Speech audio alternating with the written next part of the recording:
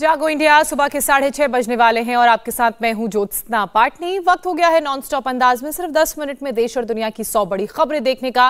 लेकिन उससे पहले इस वक्त की एक बड़ी खबर आपको बता दें, ये बड़ी खबर जम्मू कश्मीर से आ रही है, जहाँ अमरनाथ यात्रा पर आतंकी साजिश को नाकाम करने में जम्मू कश्मीर पुलिस को बड़ी सफलता हाथ लगी है। बारामूला के करीरी में कल हुए एक एनकाउंटर में पुलिस और सेना के जॉइंट ऑपरेशन में जैश मोहम्मद के तीन खूंखार आतंकवादियों को ढेर कर दिया गया। ये तीनों आतंकी पाकिस्तान से थे और अमरनाथ यात्रियों को निशाना बनाने के लिए इलाके में घूम रहे थे। सुरक्षा बलों को इन आतंकवादियों के बारामूला के करीरी इलाके में होने की सूचना मिली, जिसके बाद तत्काल प्रभाव से कार्रवाई करते हुए इस इलाके को घेर लिया गया। दोनों तरफ़ से ज़बरदस्त फायरिंग भी हुई, जिसमें जम्मू कश्मीर पुलिस का एक जवान मुदस्सिर अहमद शहीद हो गए।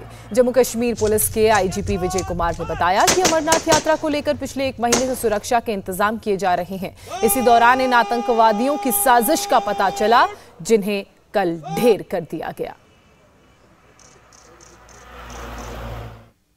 में बहुत जगह मल्टीपल नाका लगा रखे थे।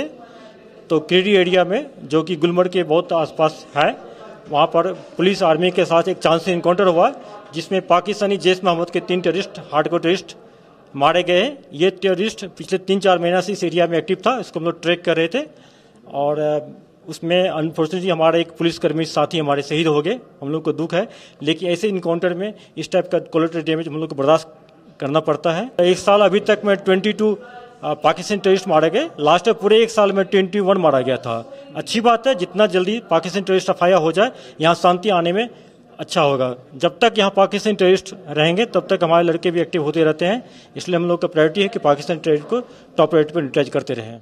इंडिया टीवी, हर वक्त, हर जगह। डाउनलोड करने के लिए सर्च करें India TV news Google Play Store या एप स्टोर पर।